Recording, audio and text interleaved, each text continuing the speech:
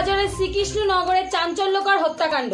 বাড়ি থেকে প্রায় তিনশো মিটার দূরে একটি পুকুরে উদ্ধার রিঙ্কু দাস নামের এক যুবকের ক্ষতবিক্ষত মৃতদেহ।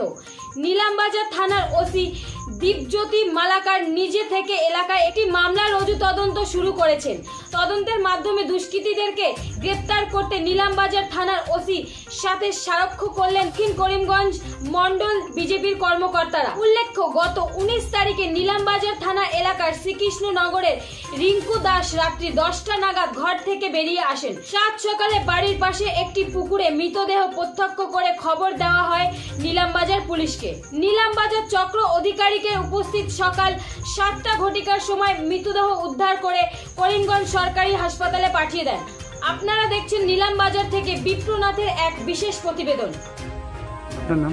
সম্প্রদায় কি হয়েছে ঘটনা? ঘটনাটা সম্পূর্ণ মানে আমি বাড়িতে আসলাম আমি তো বাইরে আসলাম তবে আমি যেটা শুনছি ওটা আমি কইতে পারি। আমি সকালে যে সময় দশটার সময় খাওয়া দাওয়া দু- করিয়া কইয়া যায় বাইরে যায়। এই সময় আমি ঘরে আসলাম। এ খাইয়া বাইরে যাওয়ার সময় কইয়া গেছে যে আমি লেট হয়ে এই তো আমিও আমার নিঃসন্দেহে আমি মার আমিও তারপরে খাইয়া আমি বাড়ি গেছি। ও গুঁড়ো মারাতে গেছি খুবই অন্য আমার ফিসের বাড়া আছে। আমার বাড়া আমি রাখছি অন্য জলও ছাড়িয়েছি আমি ইচ্ছার লাগি রাখছি। তখন সকালে আমার যে সময় পাঁচটার সময় ফোন করছেন ফোন করার বাদে আমার কইছেন যে অন্য আসেনি তাই। বলি, না আমি তো কইতাম আর না দেখো ওদিকে। ওইদিকে টাইম গিয়ে দেখছেন আমার পরে ফোন করে ওই ওলা ওলা বাড়ি মারা গেছে শুনলাম আমি ফার্স্ট সময় ওখান থেকে বেরিয়ে যাই। আপনি কিতা শুনলেন এই? আইয়া তো আমি সম্পূর্ণ মানুষ দেখছি আইয়া মরা। মরা মরার পরে তো আমি নিজে আতা আতাবিতে তো পোস্টমর্টম লইয়া গেছি। পুলিশও আইছে পুলিশে আইয়া লইয়া গেছে ষাটের টুকরা দেখছে ষাটের টুকরাও লইয়া গেছে। আবার পরে তো পোস্টমর্টম আইলো আইলাম আবার দাম দর করলাম। তখন কেস দিছিলে? কেস দিছে তখন কেস দিলে তখন পুলিশ লয় না তো পুলিশে আইজ না খালি খাইনা করে কালকে তো গেছে কালকে যাওয়ার বাদে বলে গেতে করে দেখো বলে আমরা পেপারটা দিই ওখানে না ওখানে ইলে হইতো না। ঘরে ঘরে কিতাব দরবার আছে ওটা শেষ করে ঘরে দরবার কি? আমি মানুষ আমার আসামি লাগে।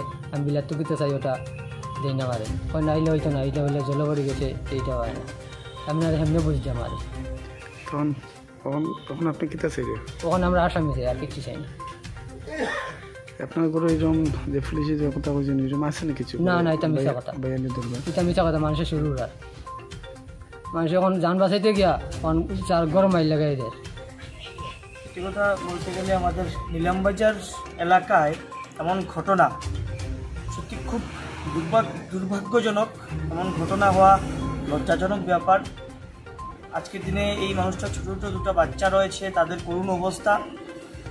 আমরা যাই এবং তাদের অভিযোগ শোনামাত্র আমরা নিলামবাজার থানায় আসি এবং অফিসার ওসি সাহেবের সাথে কথা বলি। তাদের আরও একটি অভিযোগ ছিল রাত্রেবেলা তাদের দরজায় নাকি কারা কারা নক করে, রাত্রেবেলা তারা শব্দ পায়, বাড়ির মধ্যে লোকজন হাঁটাহাঁটি করছে। তো সেই বিষয় নিয়ে আমরা অফিসারের সাথে আলাপ করি।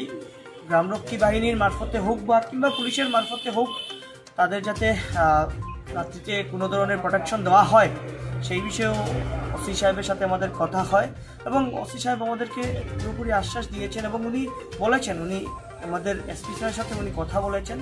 তো তদন্ত চলছে এবং আমাদের বিশ্বাস খুবই, খুব তাড়াতাড়ি এই, তার ইনভেস্টিগেশন সম্পূর্ণ হবে এবং যিনি আসামি রয়েছেন তার সবার সামনে নিয়ে আসবে।